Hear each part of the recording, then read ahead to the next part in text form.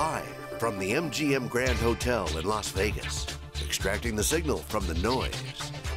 It's theCUBE, covering Splunk.conf 2015. Brought to you by Splunk. Now, here are your hosts, John Furrier and Jeff Frick. Okay, welcome back everyone. We are live in Las Vegas for Splunk.conf 2015. This is theCUBE, SiliconANGLE's flagship program. We go out to the events and extract the signal from the noise. I'm John Furrier, the founder of SiliconANGLE. Join my co-host Jeff Frick, who's the general manager of our CUBE business. Our next guest is Dan Phung, software engineer of Orion, formerly OnBeep. Welcome to theCUBE. Thank you for having me. So you got a device there, so let's just get right into it, right before we get into the whole Splunk thing. You got a device that's flashing, that's your product. Describe it, give us a, give us the, uh, the data. So Orion Onyx is a group communication device. Uh, we support instant group communication to the people that you need to be connected to in real time. So the, you basically connect this to your phone, you create a group, you add all your friends or your colleagues, or whoever you need to be in contact with into your group. And you pin this onto your shirt, you put your phone in your pocket, and you're present with whoever you're talking to in real time. And that's really important because in the, in the you know, today, people are always on their phone. They're, they might be tweeting something and then they'll, they'll look away from you and then they'll pick up a call and We do that all the time, we tweet while we're interviewing. Yeah, and you, you lose that eye contact, which is so important for human connection, right? And this helps us keep you present. So it's voicemail meets GroupMe for Not Text. voicemail, this is, no, it's beyond that. It's instant streaming data. We're not recording a whole message bit, saving it somewhere, and delivering that for later you know, reception. This is streaming data right from when you push the button. As soon as you start talking, bytes get on the wire and transfer to all of your group recipients. And they receive it on their device? Yes. And store it? They don't store it, they play it right out. Okay. Right. But then is it on all the time? So are you hearing if, if two or three of the other people in the group are having a discussion about something, are you hearing that? If they were talking, yes, we would hear that right Okay. now. But uh, it's not always transmitting, you have to push to start the transmission. Okay. So it's push to talk.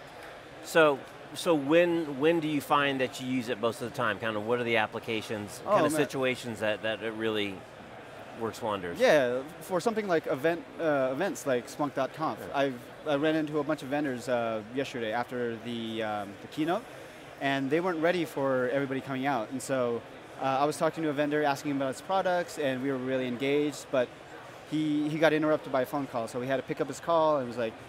Hey, uh, you know the keynote got left out early, and uh, I'm I'm here with one laptop. Can you bring one laptop to me? And then he looks back at me, and we were just talking about Orion and how you can have instant group communication. And that sold the idea right there. Like you, he, he lost engagement with me as a customer, me as, you know, just face-to-face communication. And so for coordinating events, it's a compelling uh, use case. Right. Other So So- talk about the, um, the technology behind it. So it's a hardware device. Yeah. You wrote the software for the back-end service.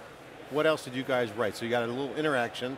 What's the battery life? Give us some of the speeds and feeds and of the overall end-to-end system. Oh, well, I mean, uh, it's, it's fairly simple, and that's the beauty of this whole thing, is it's a very simple stack. Uh, it connects, right, it- right now it connects over uh, Bluetooth to your phone. Your, it uses your phone's data plan, or uh, whatever, however it's connected to the internet. So it could be Wi-Fi, it could be a satellite phone. We have an example in our talk that we just gave, where our CEO is in, the, in a boat in the middle of the sea in Palau, and he has a satellite phone. So, and, and this is the power of inter, internet-connected wearables. So if you're connected to the internet, you're connected to the Orion network. And if you're connected to the Orion network, you're connected to all your colleagues, all the people that you need to be connected with in real time. So, so you're, you're, you have this device, it's connected to your phone through Bluetooth, and then it uses the, your internet connection, goes to our backend service, and from there, we stream the data out to all the recipients. So what's the. URL for more information, real quick? I want to get that out. Oh, it's uh, www.orionlabs.co. Okay, great. OrionLabs.co. C-O. Okay, great. OrionLabs.co, check it out. Um, so what's been the feedback? It's like, it's very much Star Trek, like Scotty beam me up. I mean, it's a communicator. Yeah, it's, It's- it's, uh, that's one of the uh, accessible kind of stereotypes that we're able to, uh, Yeah. to use. Is like it is very much Good for concerts, live events, moving around. Going biking, like if you have, if you go biking with your friends on a long trip, and you have to have your phone in your pocket. You can't be biking Yep. and pull your phone out to text or to make a phone call, or like when you're driving. even, Skiing, right? biking, snowboarding. Yeah. Uh, I use it for even day-to-day tasks. Um, I, I have this paradigm that I call yell to talk. If you're, we live in San Francisco, we're in this pretty small apartment, but even then, my wife could be in the kitchen doing something, and I could be in another room with the kids, and there's so many things that, times where I'm like, hey, do we have any more diapers? And she'll be like, what did you say? Like, Yeah. turn Your- off the radio. Your whole neighbor's here too. Right. Yeah, I'm And, uh, Welcome to our world too. I got four kids. We know what you're talking about. Yeah, so like you have this thing, and you're like, oh, I can just talk in a, like a normal human. She can hear my voice. Right. And you're talking like, hey, where's our diapers? I don't see them. She, other end. Oh, they're they're in that cubby over there on the left. I kind of uh, cleaned them up and hid them over there. I was like, also, do you configure uh, a number of different groups? Because it sounds like the hand-free heads-up um, value is really a, a really big one. Because in all the examples you've just cited, that's a pretty significant, you know, kind of rank order value prop. Mm-hmm. So do you have multiple groups? So you've got your bicycle riding groups, and you flick it over to Group A when you're you're doing that activity, and you've got your work group, you flick it over to Group B. Yep.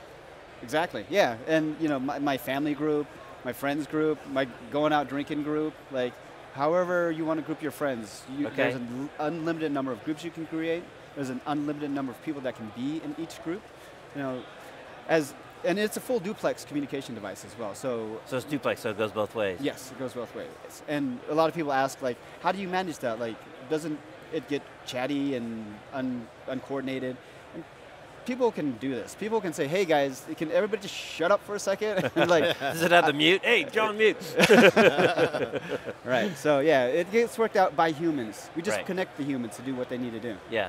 So the, the, the heads up and the hands free is great. And, and as we were talking a little bit about it off air, we all know that, that texts and emails um, can really be a not good form of communication. I mean, there's so much nuance that can somehow get lost. There's things that can get read in um, that shouldn't get read, you know, read into a text or, or an email. So I'm sure for that function too, you know, having a direct voice connection makes a big difference. Right. The the power of the human voice is so expressive that we lose that when we start typing that out. Just in what you just said, you had pauses, different inflections in the way you were saying things that communicated communicated very different things that I can hear and I can understand much better than you texting and correcting your text and like right Right. that doesn't that loses so much Right. and we're able to bring all of that power of the voice back all that All right. expressivity So what's the Splunk angle? We're here at Splunk.conf. You gave a little talk. So what's the uh, what's the Splunk angle? Yeah, so um, as a small startup,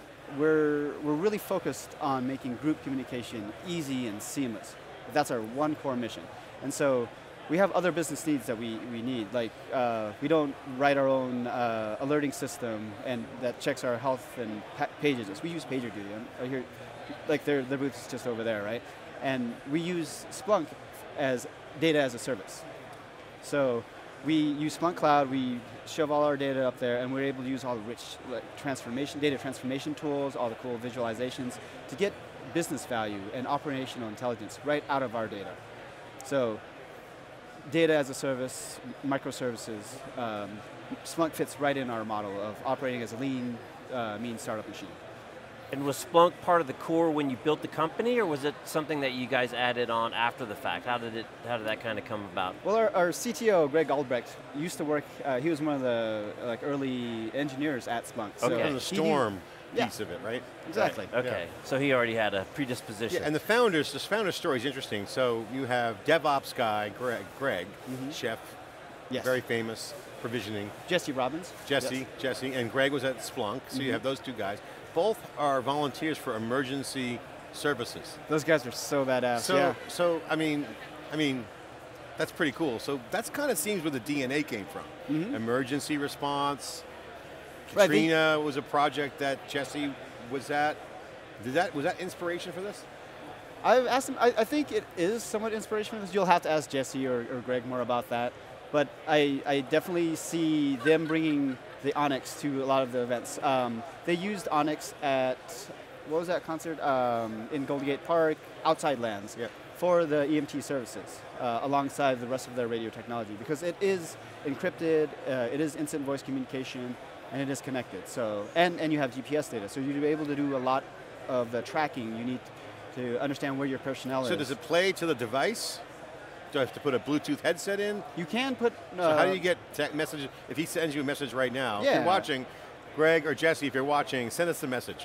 right. Text Uh, there's a speaker on this. So there's a there's a mic. There's a mic jack if you need to be more discreet. Okay. Uh, and there's a speaker on on this Yeah, as well. security, emergency personnel, easy no-brainer right yeah. there. Yeah.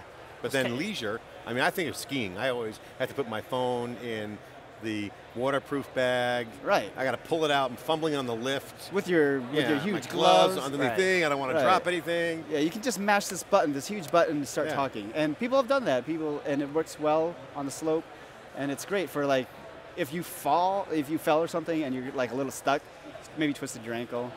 You don't want to wait for like your buddy to show up and start like you know laughing at Yeah, yourself. when you're upside down in snowdrift. Right, Help right. me.